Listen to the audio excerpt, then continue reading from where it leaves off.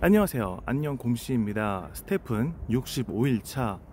오늘 미국 바이든 대통령이 방한을 해서 삼성 공장에 가는 모습을 그 유튜브로 봤는데 생각보다 막 떨리거나 그렇지 않더라고요. 설렐 줄 알았는데 어, 별로 큰 감동이 없었습니다. 왜냐하면 바로 내일 제1회 한국 스테픈 오프라인 이벤트가 있기 때문이죠. 내일 오후 인천 아시아드 경기장 근처에서 하는데 띠버스 네이버 카페를 위해서 애쓰고 계신 스태프분들과 감사분들 그리고 어, 유명한 named 회원분들과 또 모든 회원분들을 직접 만날 생각을 하니까 굉장히 설레더라고요. 어, 지금도 많이 떨립니다.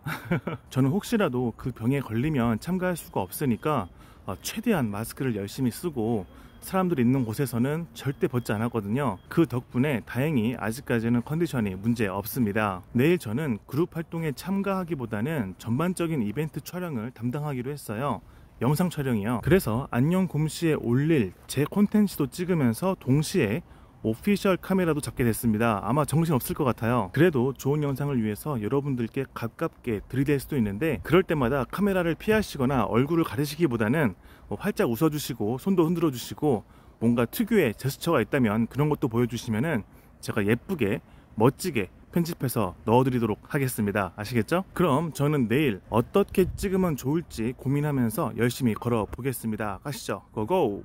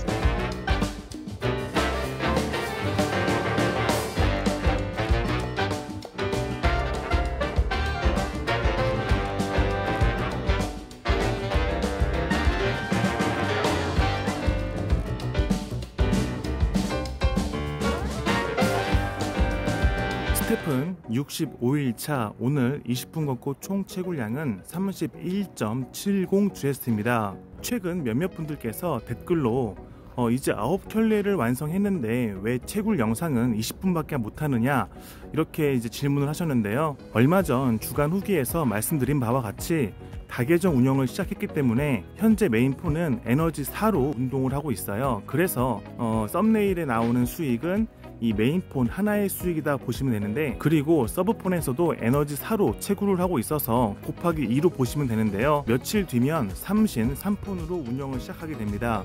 아, 그래서 이것을 어떻게 표기하면 좋을지 아직 고민 중인데요. 제가 이렇게 직접 다계정을 운영하면서 느꼈던 장점과 단점에 대해서 아예 따로 콘텐츠를 만들어서 올릴 거예요.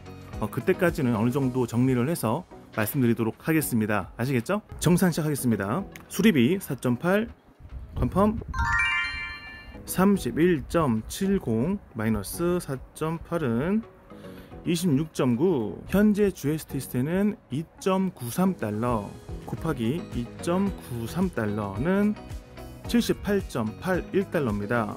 현재 달러 환율은 와 9원이나 빠졌는데 이렇게 하루 사이에 10원 이상 올라갔다가 9원 이상 빠져버리고 왔다 갔다 하니까 어, 외환 트레이드 하시는 분들 뭐 환칙이라고 하죠. 어, 외환 트레이더 분들이 굉장히 고생이 많았을 것 같은데 뭐 어쨌든 저는 여전히 많이 비싸다고 생각합니다.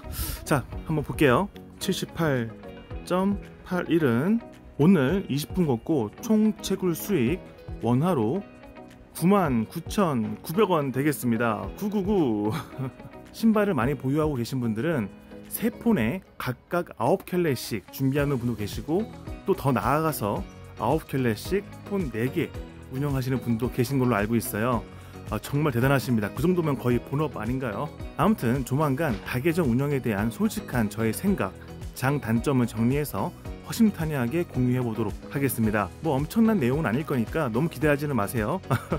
그럼 오늘 하루도 정말 수고 많으셨고요. 우리 모두가 안녕한 삶을 누릴 수 있는 그날까지 파이팅입니다. 내일 오프라인 모임에 나오시는 분들은 오늘 꿀잠 주무시고 내일 밝은 모습으로 건강한 모습으로 뵙겠습니다. 참고로 제 실물은 엄청 덩치가 크고 뚠뚠하니까요. 너무 놀라지 마세요. 걱정이네요. 그럼 들어가겠습니다.